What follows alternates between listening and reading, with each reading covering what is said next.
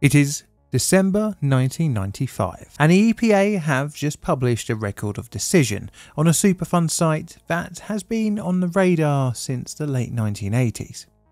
The site, rather interestingly, isn't an illegal dump like the Valley of the Drums, or a town built on questionable foundations like the Love Canal, but it is of a government owned site in its own right.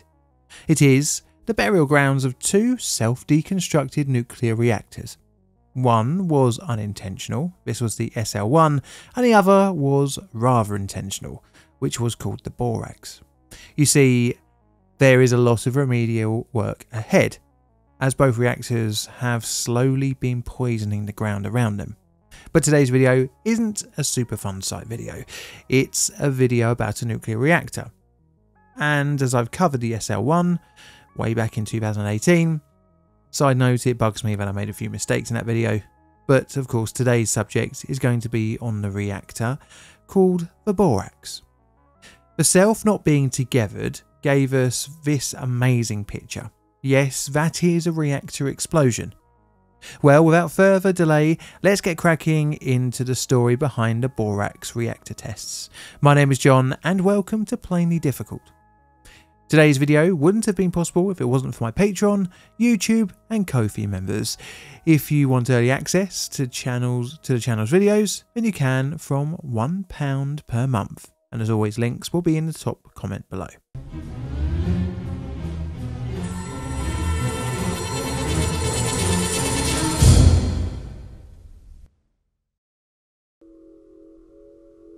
and experimental reactor design. The early 1950s was an interesting time for reactor development in the USA. Various different designs were explored as scientists probed reactor behaviour. Our story for the Borax begins with an interesting event an operator error induced excursion at a test reactor in the Argonne Laboratory in Illinois. The heat generated boiled off the moderating water, and although splashing four operators with some spicy reactor soup, nothing really dramatic occurred. This sparked the idea that maybe a reactor moderator could be kept in a stable boiling mode. An experiment was put forward and it was greenlit, but not to be run at the Argonne National Laboratory. Instead, a site a bit more isolated was put forward, as it was considered to be a little bit of a risky experiment. But why bother with a boiling water reactor?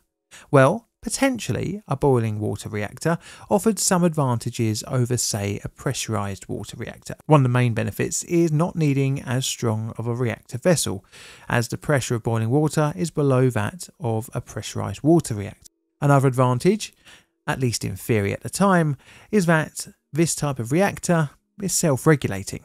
Okay, let's quickly talk about this. You see, in order to sustain a chain reaction within a reactor, you kind of need a moderator and in a boiling water reactor, this is like water.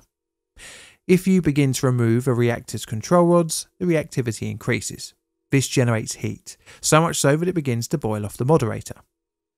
As it turns to steam and loses its characteristics as a moderator, which then reduces its neutron slowing abilities, it in turn reduces the reactivity, and thus heat. In turn, the steam cools down and turns back into water, increasing its moderating characteristics. With greater moderator density, the reactivity then increases. Basically, the reactor will self regulate through the boiling and cooling of the water to a point of stability.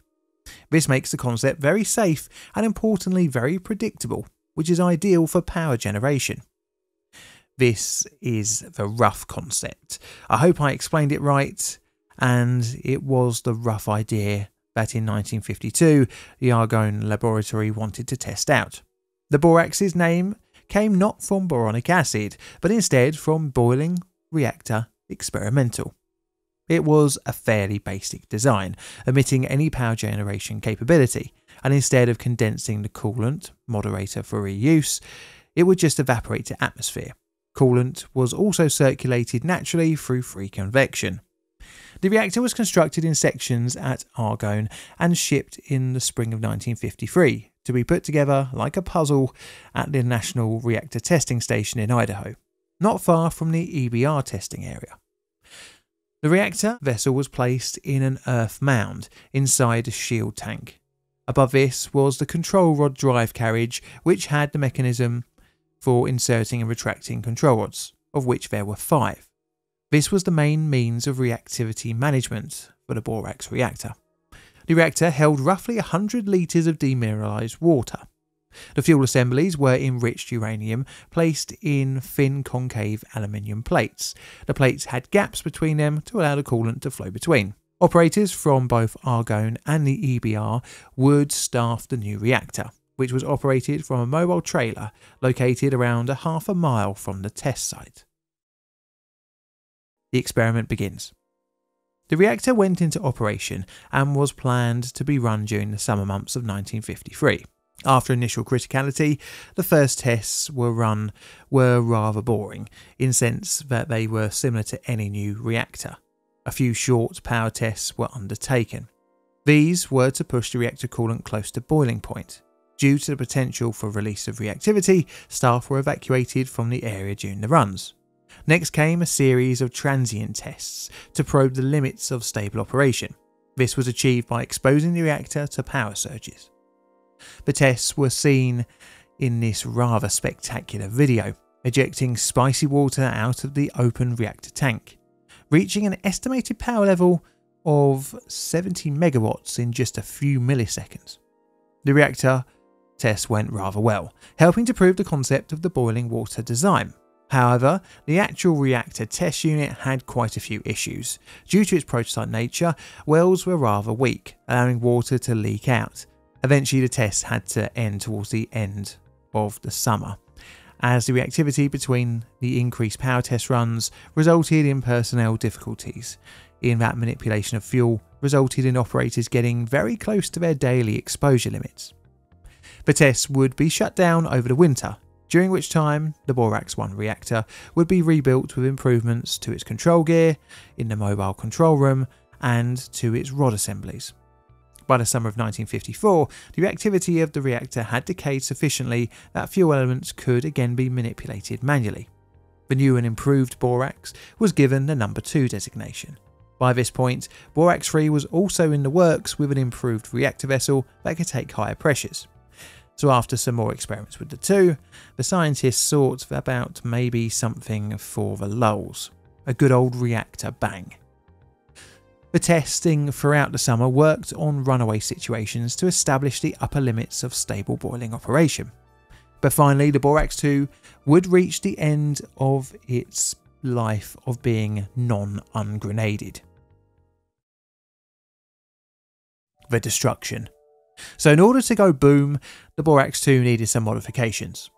This was mainly with a strong spring that when the control rod being held in place by an electromagnet, which was switched off, would shoot the control rod out of the core, causing the reactor to go prompt critical almost instantly. The destruction test was set for early morning in March. Leading up to a 7am start, a short, low power transient test run was undertaken to verify that the reactor equipment was working after which operators conducted an inspection of all the control rods. During this time, a fuel assembly was found to be deformed and had to be replaced. The test was reliant on wind direction, as the released material post explosion could travel towards any waiting onlookers. In order to decide whether to go or not, smoke bombs were set off to indicate the wind direction. Operators made the final checks, and high speed and still cameras were put into action.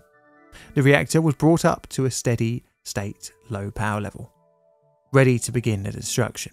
The time was around 8am.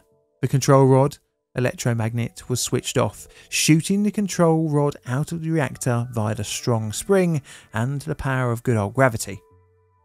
Quickly, the reactor power spiked. An explosion followed, lifting the entire shield tank out of the core and shooting it into pieces over an acre of the surrounding area. The control rod assembly shot into the air, being flung back to Earth by the cabling that was used to electronically control it. Steam water and fuel debris scattered out, pieces of molten fuel rained down in the surrounding area. A cloud of radioactive steam and vapour moved southwards from the reactor site. Only the reactor vessel's bottom plate remained in the pit. The rest had been resited in a debris field amongst, amongst the desert sand. As soon as it was deemed safe, roughly by the end of the day, staff in protective clothing went in to inspect the damage and take photos of the remaining man- mangled machinery. The test had been a success, a very entertaining and messy success at that. But like all fun things, the boring part of cleaning it all up had to be undertaken. The aftermath. Debris from the reactor was examined and documented. Any non fuel debris was placed within the old dugout that was used for the reactor vessel. Cleanup crews sent any found uranium fuel off for reprocessing, but not every piece was recovered. Thus, fuel ended up being buried with the rest of the debris. Due to the reactivity of the debris field, around an 84,000 square foot area was covered with gravel 6 inches deep. And although initially thought safe and unable to grow any foliage, plants would eventually sprout out from the ground a few years later. Over the following years, the site would be monitored for radiation, and surveys in 1978 and 1980 showed reactivity to be three times above background levels. The site and surrounding area was fenced off, but a more extensive solution to the contamination in the area had to be sorted out. Since 1987, the site was on the EPA's radar, and in 1995, a record of decision for the designated Superfund site was published. The waste from the borax reactor would be contained along with the contaminated soil nearby under an engineered barrier constructed primarily of native materials. The capped off site is still fenced off today, and it is hoped to be effective for at least another 280 years. Now, the borax test would continue with borax 3, which added power generation. It supplied nearby Arco, Idaho, with electricity, making it the first town to be powered completely by nuclear power. The borax tests would end in the 1960s after getting to its fifth revision. But the borax destruction test wasn't the only test of its type. There was also an aptly named SPERT reactor and the Snaptran. The latter of the two I've covered in an old and dusty plainly difficult video. So today the scale will be a 1, and this is what I've got for my rather empty root cause analysis card. As well, the destruction and contamination was kind of all part of the plan. This is a Plainly Difficult production. All videos on the channel are Creative Commons Attribution Share Alike licensed. Plainly Difficult videos produced by me, John, in the currently actually snowing corner of southern London, UK. And I have to say is thank you very much for watching, and Mr. Music, can you do me a favour and play us out, please?